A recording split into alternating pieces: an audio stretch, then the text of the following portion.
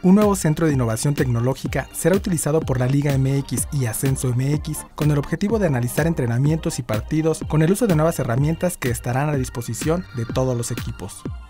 Los clubes de las principales divisiones de fútbol mexicano tendrán acceso a un gran conjunto de herramientas durante la primera temporada para el análisis en tiempo real y posterior de las sesiones de entrenamiento y los partidos.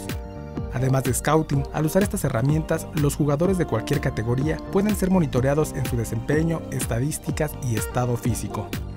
También, dicha plataforma estará disponible para la comisión de árbitros, lo que permitirá medir el desempeño de los oficiales en cualquier momento. Con información de Ricardo Blancas, Notimex.